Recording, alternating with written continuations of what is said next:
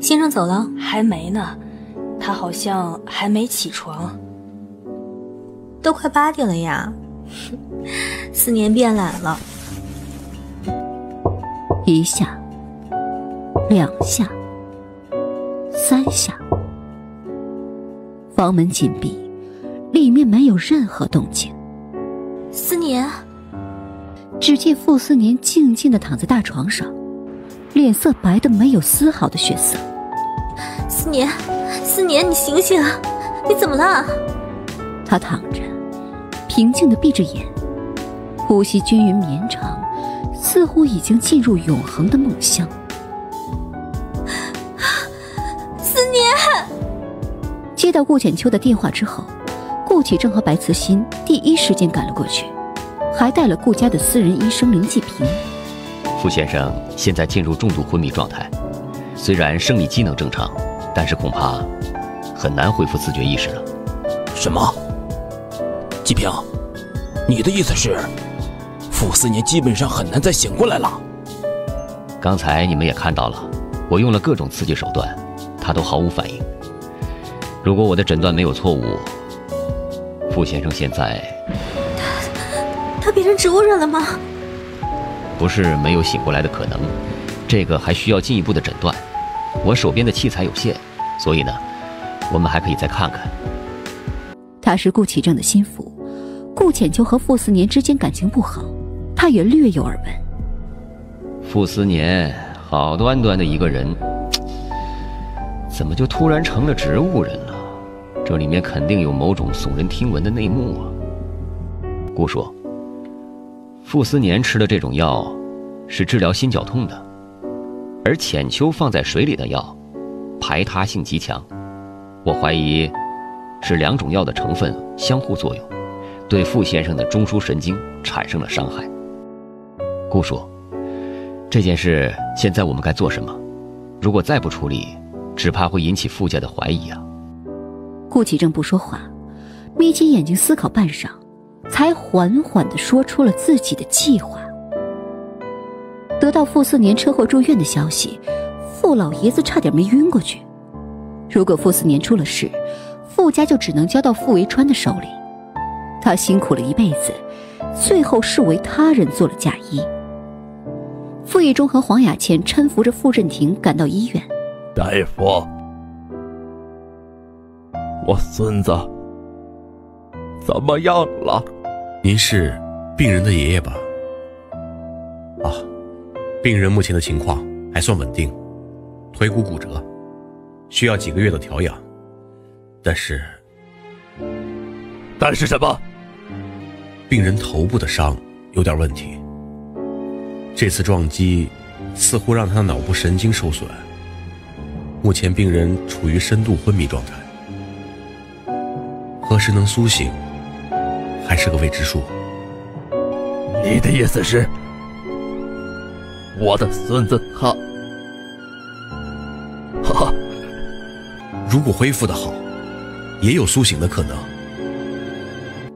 季半夏走进办公室的时候，心情还是愉快而充满期待的。傅斯年喜欢她穿裙子，他说，她穿绿色衣服最好看。什么？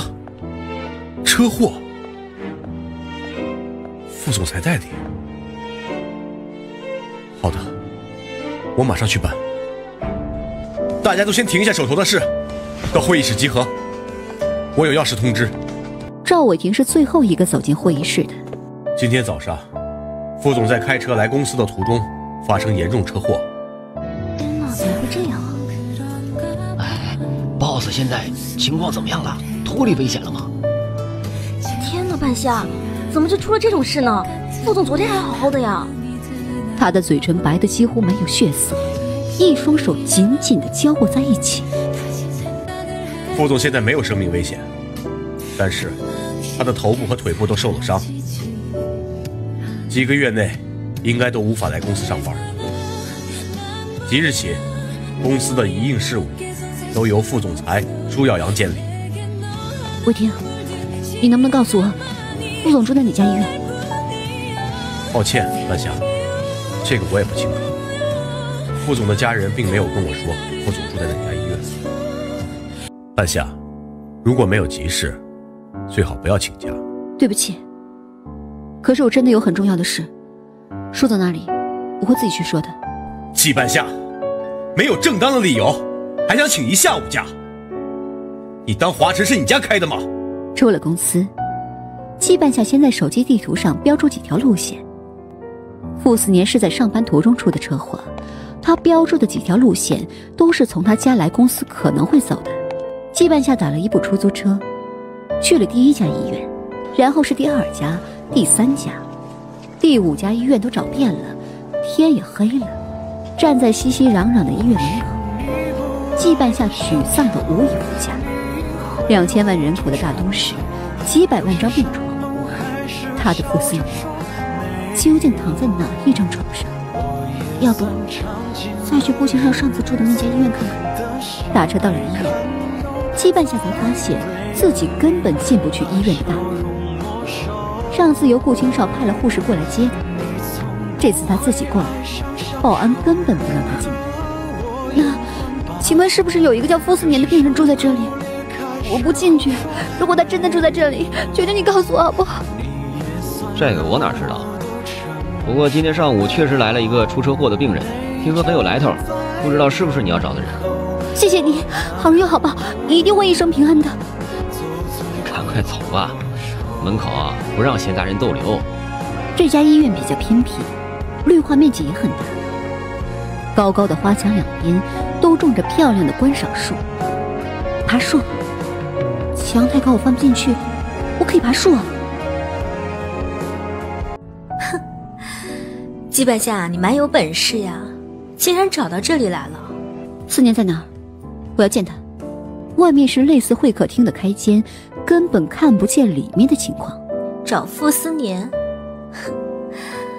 进来吧，把房门关上，千万别让其他人听见。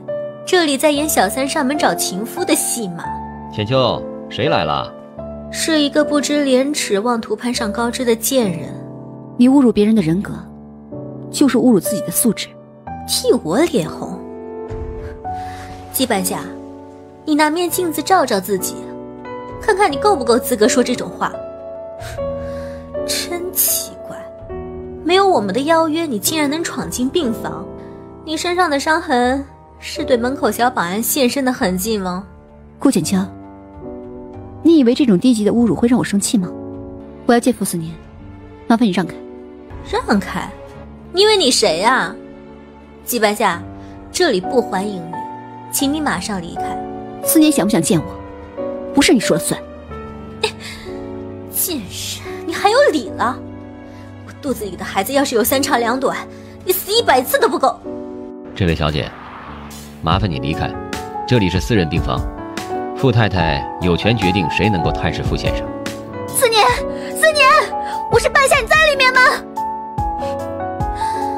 别喊了，他不会理你的。我告诉你，思年永远都不会再理你了。你撒谎！思年怎么会不理我？你撒谎！为什么？思年明明住在里面，为什么一直躲着不出来？